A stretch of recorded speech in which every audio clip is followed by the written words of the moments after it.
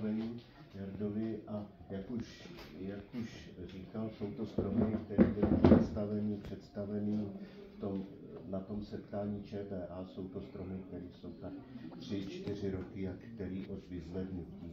Jsou to stromy, které to pocházejí všechny z jedné lokality.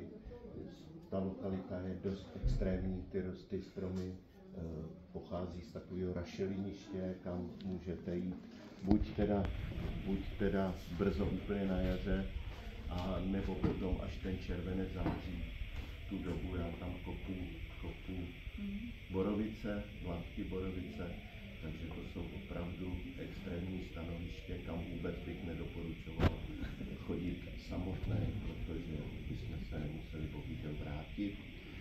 Eh, a tak vždycky minimálně ve dvou lidech. Jak asi většina z vás ví, tak mám rád velký stromy, mohutní stromy a můžu říct, že tohle jsou stromy hm, takový středně velký stromy, středně velký, vyzvedávám stromy, podstatně mohutnější a silnější, mám rád prostě velký stromy, velký bonsai. Jak pan Píšel říkal, jsou to stromy z toho setkání a vzal jsem je sem úmyslně, abyste mohli vidět ten relativní posun a co s těma stromama jsem dělal.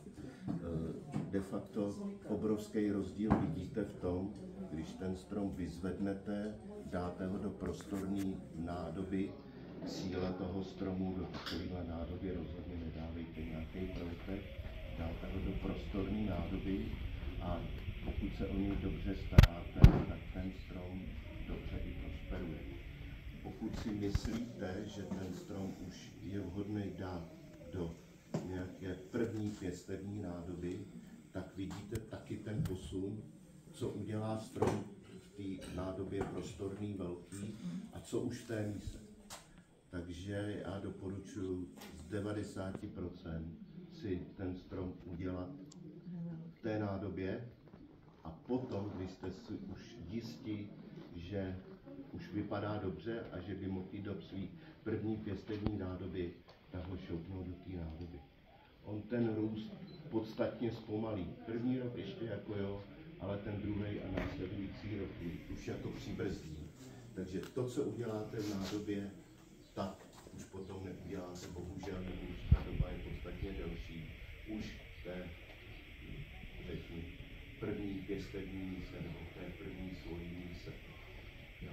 Je to dost podstatný, protože té se ten život běží strašně rychle a chceme se dočkat nějakých dobrých výsledků a pohledných stromů, jak říká bonsai. A tak proto vůně tenhle první řadě ten strom, pokud má nějaké problémy zdravotní, tak to snese podstatně lépe než v té míse, takže si s ním dokážete poradit podstatně více. Má podstatně víc substrátů, udrží víc vody, živin a podobně a snese i takový hrubší zásah. Třeba při varování, tak e, někde děláte extrémní ohyby. Musíte udělat extrémní ohyb, abyste tu větev, kterou potřebujete, dostali do té pozice, eh, tu větev, kterou máte třeba špatně nebo hůř nasazenou a potřebujete ji dostat do pozice eh, opravdu na druhou stranu třeba přetočit mene, tak děláte výrazný ohyb, jako v tomto případě. Výrazný ohyb, pohyb. A každý takový výrazný pohyb může být i pro tu větev, řeknu, fatální. Když bych tento ohyb udělal tady, už tom na tom stromě v té míse, tak už by mohla mít problém. A proto si nechávám třeba takovou záložní větev nebo větve, jako v tomto případě, že tady vidíte, když jsou svázané drátem, kdyby tato odešla, tak tady mám náhradu a hodím si sem jednu větev doprava z vašeho pohledu do zádu. Jo? A tu odstřihnu někdy příští rok na jaře ji odstřihnu a vím, že tahle větev funguje. Takže dobrý. A takhle to dělám i u dalších stromů. Mám dojem u toho posledního, že tam je taky takhle nechaná větev, taková záložní. Každý strom už má přitom, jsou tvarovaný, to jsem neřekl, jsou tvarovaný přes letošní zimu, to znamená od toho konce listopadu, prosinec, leden a už mají nějaký svůj základní tvar. Jo, už mají za, nějaký svůj základní tvar v té pozici, které si představují, že budou možná někdy v té míse, tak jo, tady je to v celku dobře vidět, že když tohle vyhodím, tak ten pohled bude odsud. Jo.